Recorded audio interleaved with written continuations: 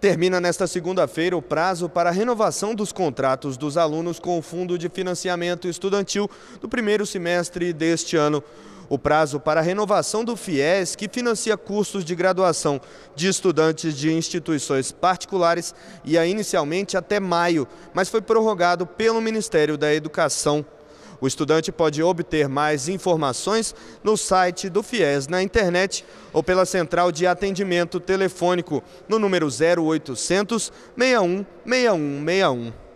De Brasília, João Pedro Neto.